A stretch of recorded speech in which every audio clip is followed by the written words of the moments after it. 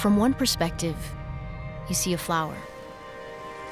But look deeply, and you begin to see the whole picture. The principles of quantum mechanics, rooted in nature, building and connecting our world at the molecular level, governing the behavior of matter and energy. And when the same principles are harnessed to power a computer, we unlock the potential to find solutions for otherwise unsolvable problems.